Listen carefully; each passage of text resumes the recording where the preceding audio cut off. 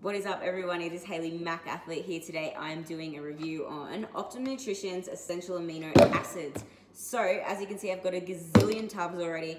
I literally use these every single day, but I am about to do a garage session in, um, you know, my garage gym because it's ISO. Um, and I am trying a brand new flavor, which is the grape, this bad boy. Um, so I haven't actually tried this one yet. So you're gonna come along for the ride with that one.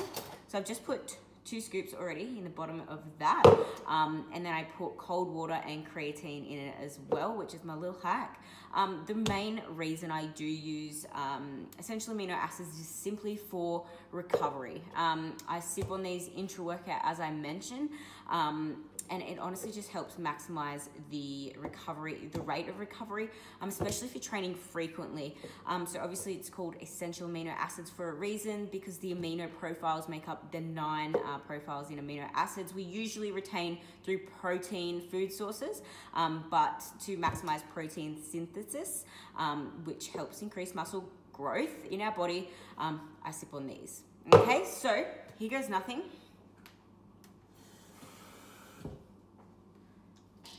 Um, just shake it up. And